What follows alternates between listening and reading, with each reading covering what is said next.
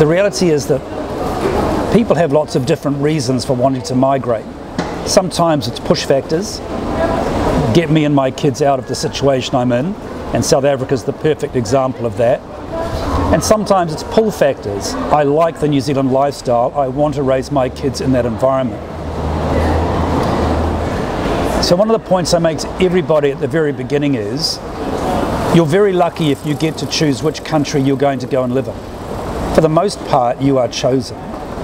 And all the places where our clients are considering have governments that can afford to be very picky about who they let in. We have a lot more people wanting to live in New Zealand or Australia than there are places available.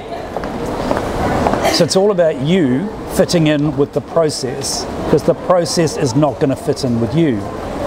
So for us, the perfect client is someone who has a very clear expectation that New Zealand and Australia are not perfect places. We have our own problems.